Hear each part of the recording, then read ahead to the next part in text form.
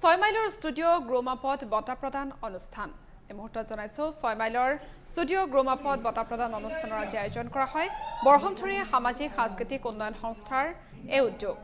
বিশেষ ক্ষেত্ৰত চৌবিছগৰাকী ব্যক্তিলৈ প্ৰেৰণা বঁটা দুহেজাৰ বাইছ অভিনেত্ৰী প্ৰতিভা চৌধুৰীসহ বিশিষ্ট ব্যক্তিৰ অংশগ্ৰহণ এই অনুষ্ঠানত।